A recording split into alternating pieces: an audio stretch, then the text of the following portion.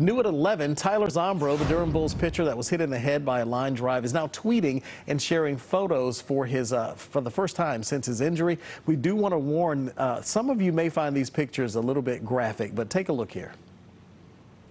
All right, this is him in uh, his first tweet tonight saying thank you to everyone in the baseball community for all of their support. And then he shows a picture of the stitches and the scars and says how unbelievably grateful he is for the help from the Duke Hospital staff. And take a look now. He even posted that video making a joke that he's never been the fastest on the field, so I may have gotten a boost after this surgery. Those were his words.